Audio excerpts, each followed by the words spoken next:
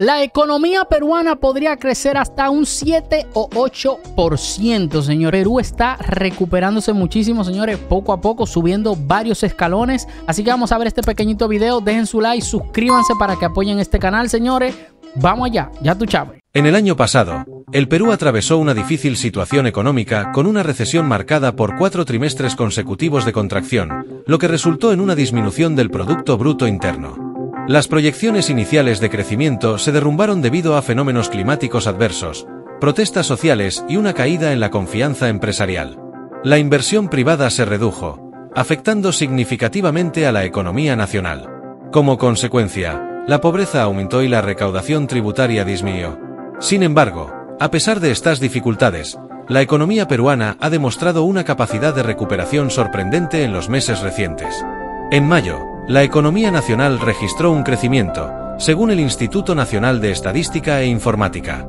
Este crecimiento fue impulsado principalmente por el sector manufacturero, que experimentó un significativo aumento. La manufactura primaria creció en gran medida debido a la normalización de las irregularidades climáticas, lo que benefició a varios subsectores.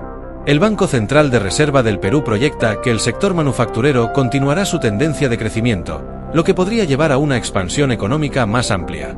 Otro sector que ha mostrado signos de recuperación es el de la pesca. La producción pesquera aumentó significativamente, impulsada por la mayor extracción de especies marinas, en especial la anchoveta. Este crecimiento no solo se debe a un aumento en la actividad industrial, sino también al incremento en el consumo humano de productos pesqueros. En un intento por atraer inversión extranjera, el Perú realizó una presentación en Nueva York para promover las inversiones. El ministro de Economía y Finanzas, José Arista, destacó las fortalezas de la economía peruana y señaló que se han adjudicado importantes inversiones en el primer trimestre del año. Arista mencionó cuatro razones principales por las que el Perú es un buen destino para la inversión extranjera. Estabilidad jurídica, oportunidades de inversión, fundamentos macroeconómicos sólidos y una población joven y en crecimiento. Un elemento clave para el futuro crecimiento económico del Perú es el desarrollo del megapuerto de Chancay como zona económica especial. Este proyecto tiene como objetivo ofrecer incentivos fiscales y económicos a las empresas que decidan invertir en el área, lo que podría impulsar el comercio y la logística en la región. La presidenta Dina Boluarte anunció que esta medida busca promover el desarrollo sostenible y atraer más inversiones. Actualmente, en el Perú operan varias zonas económicas especiales, que han demostrado ser efectivas para fomentar el crecimiento económico.